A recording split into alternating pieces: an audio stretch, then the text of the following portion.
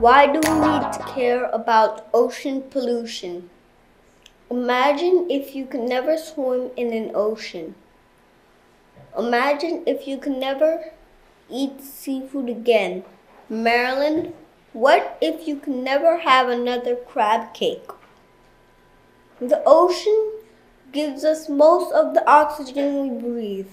Greater than 70 greater than 50% of the oxygen comes from the ocean.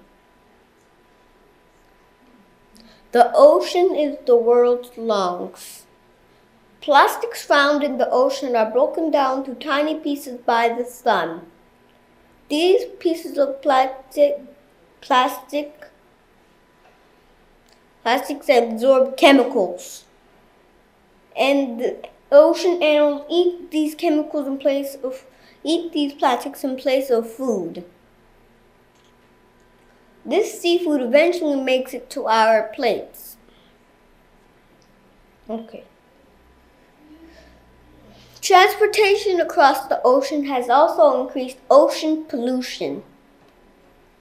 Toxic gases can kill the animals, trees, and cause breathing problems in humans like asthma.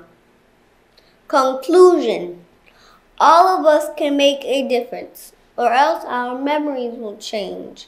The ocean will become a plastic dump. How can we do this?